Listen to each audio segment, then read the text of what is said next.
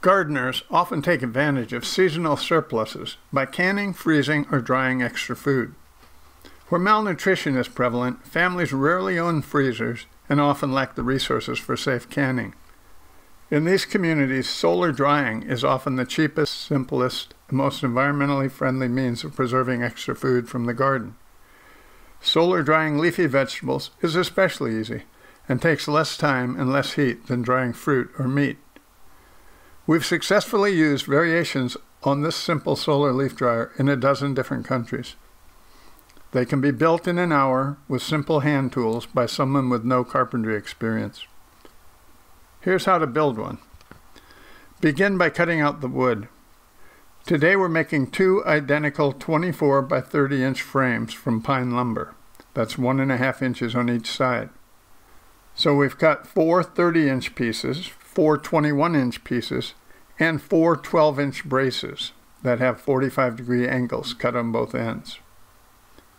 You can make a larger dryer, but any smaller than this tends to not get hot enough for efficient leaf drying. Dryers that are over three feet or a meter on each side are difficult for one person to handle.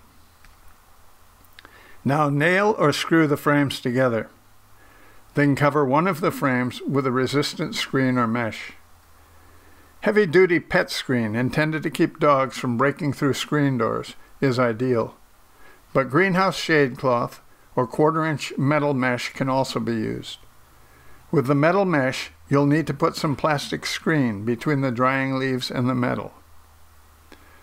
Fiberglass screen isn't recommended because the tiny glass fibers can end up in the dried leaves.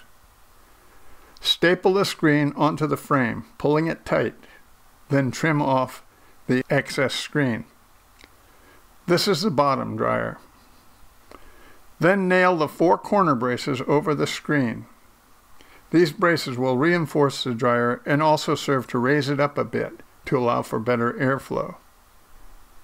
Spread greenhouse grade polyethylene sheet over the other frame, the dryer top. This is a 6 mil thick clear plastic that is treated to block ultraviolet rays from the sun.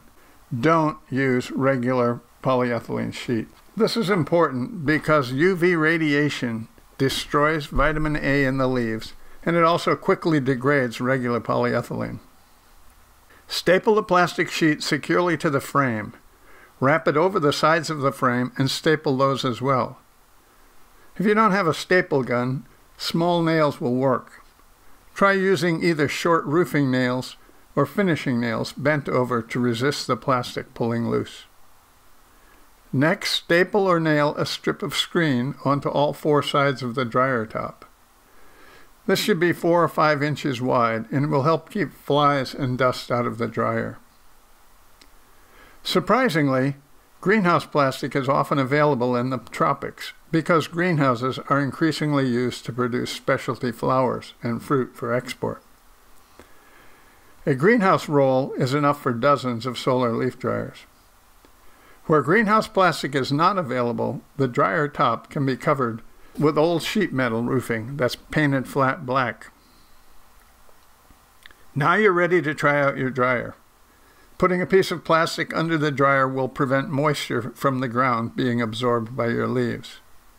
Raising one side a bit will allow the sun's rays to hit the dryer at a more direct angle and heat up more quickly. This also allows any unexpected rain to drain off the dryer. In cool or cloudy weather, setting some shiny metal behind the dryer will reflect additional solar energy onto the dryer. Rooftop tests in Mexico demonstrated improved performance with the reflectors. Where ants are a big problem, we set the dryer up on short plastic legs that sit in cans full of water. Only the most enthusiastic ants can make it through this obstacle course to eat your drying leaves. There are a lot of variations on these simple dryers. One of the most innovative was developed by the Nicaraguan women's organization FUPROSOMANIC. It uses tiny solar collectors and repurposed old computer fans to increase the airflow in the dryers whenever the sun is shining. It's not hard to build a solar leaf dryer by yourself, but it's more fun as a group project. A group that builds the dryers together usually offers more mutual support for using them to make leaf powder. Thanks for watching.